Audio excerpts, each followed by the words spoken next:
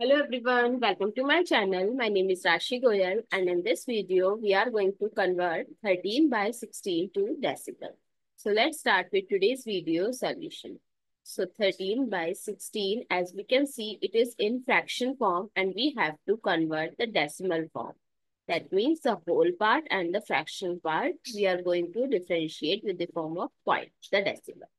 So how can we convert a fraction into decimal so we can simply divide the numerator with denominator. So it is 16 divided by 13. So first we take decimal and write 0 here. Now 16 times 8 is 128. We will subtract it. This gives us 2.